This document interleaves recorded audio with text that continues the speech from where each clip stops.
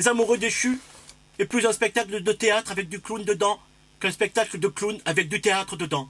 C'est un théâtre du langage, le langage à l'instant de la catastrophe amoureuse, cet instant où l'on tente de s'expliquer, de convaincre, du retour de l'autre, le retenir, de le repousser aussi, de le phagocyter par la langue.